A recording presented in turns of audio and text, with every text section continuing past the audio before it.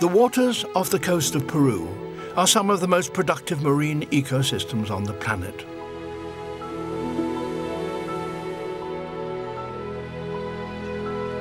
Teeming with life, many of the species found here, such as the endangered loggerhead turtle, migrate long distances to reach these rich feeding grounds, while others, like the Humboldt penguin, are permanent residents.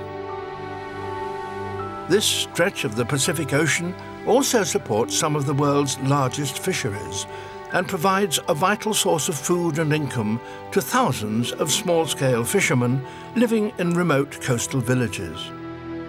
However, accidental bycatch of non-target marine species is driving a rapid decline in endangered turtles, rays, sharks and seabirds as they become entangled in fishing gear, often with fatal consequences.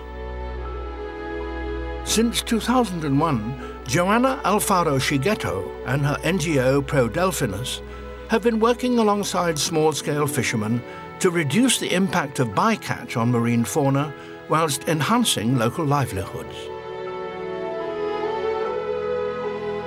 Through a combination of education and training, Joanna is encouraging coastal communities to adopt new fishing methods, providing access to gear that leaves non-target species unharmed, and persuading fishermen to return any animals that are accidentally caught back to the wild.